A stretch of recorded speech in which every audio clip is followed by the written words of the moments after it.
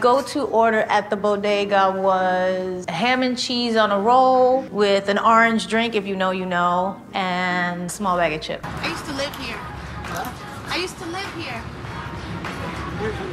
Huh? My name is Jennifer. Jennifer? Yeah, I used to live up, and then my room was upstairs right there. Jennifer? Jennifer Lopez. I could be J.Co. You could. Yeah? I like it. Do you think it works? I do. I think we should make a rap group together. Don't even. Before I even signed my deal to go to Vegas, when they were offering it to me, they were like, "Boy, we want you to come do this." I went and saw a bunch of shows. Uh-huh.